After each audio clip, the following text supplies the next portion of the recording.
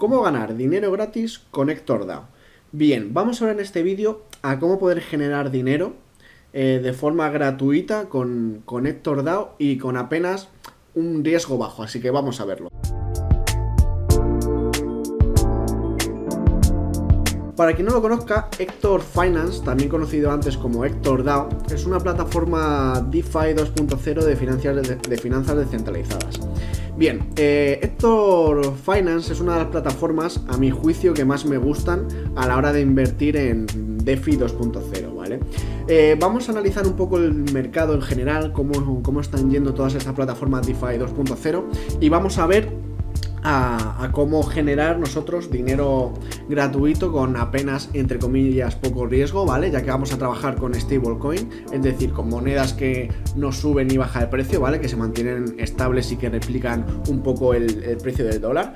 Así que nada, antes de empezar, como siempre, me gustaría que te suscribieras al canal, le dieras me gusta, ¿vale? Para apoyar este tipo de vídeos y también saber que te están gustando estos vídeos, así que revienta el botón de like.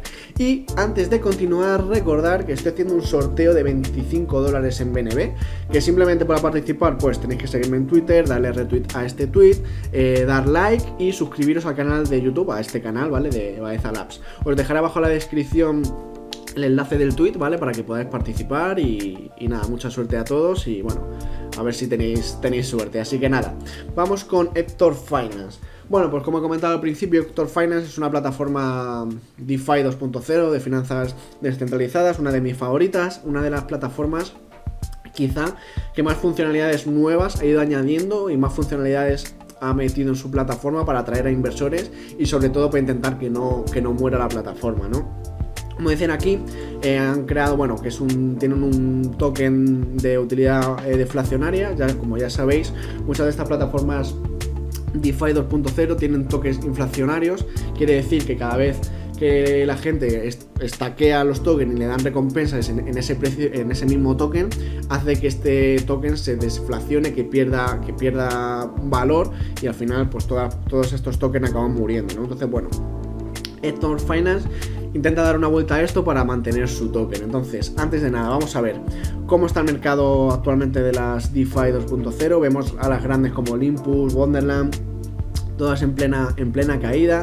Clima dado, bueno, vemos que ha tenido ir una subida, ¿vale? No, seguramente tenga algún tipo de, información o que haya pasado algo, ¿vale? Porque si vemos un poco la tendencia general, son todos negativos, ¿no? En, en tendencia bajista también, dependiendo de cómo esté el mercado de, de las criptomonedas en general, ¿no? Esto Fina, bueno, vemos realmente una caída bastante estrepitosa, en Romeda, bueno, Fan On, tenemos aquí, bueno, prácticamente si nos fijamos en todos los gráficos, quitando algunos, eh, todo una tendencia bastante, bastante bajista, así que...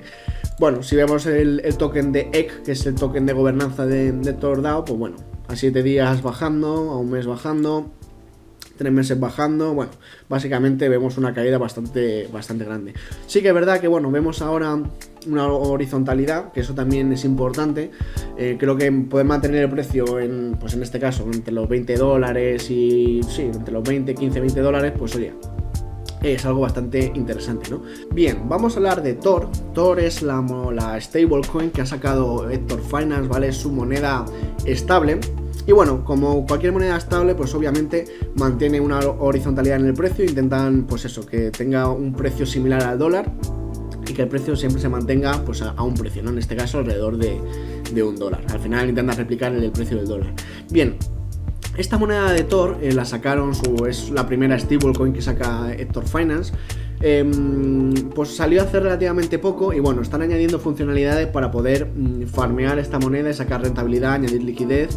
Entonces, bueno, es una forma de obtener ingresos pasivos con un riesgo relativamente bajo, ¿vale? Como ya sabéis, el tema de las finanzas eh, siempre hay riesgo, ¿vale? Hay inversiones que tienen mucho más riesgo, otras que tienen menos riesgo, pero al final en, toda, en cualquier inversión tiene, tiene un riesgo, así que esto no va a ser menos. Así que bueno, vamos a ver el, precio de, de Tor que se mantiene siempre y vamos a ver cómo poder farmear esta moneda. Bien, si nos vamos a, a, Hector, a Hector Finance, eh, la plataforma, pues bueno, vemos que realmente la capitalización del mercado sigue siendo bastante alta. hablamos del token de gobernanza de, Héctor. Bueno, pues tenemos aquí toda, toda la información. Ha añadido una nueva funcionalidad que se llama Farm, que lo tenemos aquí a la izquierda, que es básicamente para farmear, para añadir liquidez a, estas stablecoin, ¿no? Tenemos Tor, que es la, stablecoin de, de Tor Finance, ¿vale? Tenemos DAI, también es una stablecoin, tenemos USDC también, entonces, a través de esta funcionalidad de Farm, vamos a poder eh, añadir pues eso, liquidez y poder obtener una rentabilidad eh, anual, ¿no? Eh, bueno, anual, en este caso APR no es anual, ¿vale? El APR es otro sistema, no es como el APY, es distinto. Entonces, básicamente para poder generar ingresos pasivos con, con Hector Finance.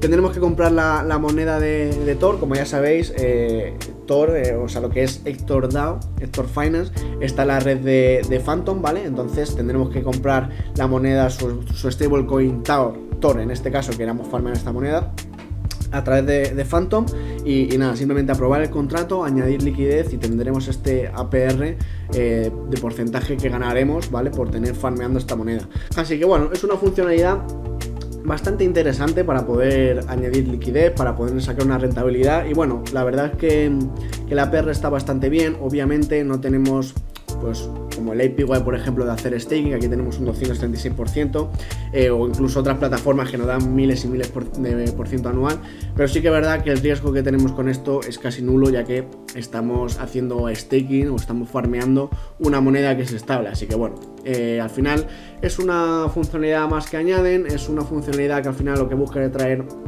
eh, traer más inversores, sobre todo también añadir liquidez a, a su stablecoin, y bueno, es una forma eh, más ¿no? de poder hacer finanzas descentralizadas con este tipo de plataformas. Así que nada, eh, decidme qué opináis sobre esta funcionalidad de Farm, darle me gusta al vídeo si os ha gustado, suscribiros al canal para no perderos ningún vídeo y nada, como siempre, nos vemos en la siguiente y recordar que estamos con el sorteo de 25 dólares en BNB, así que participa ya. Así que nada, nos vemos en la siguiente. Hasta luego.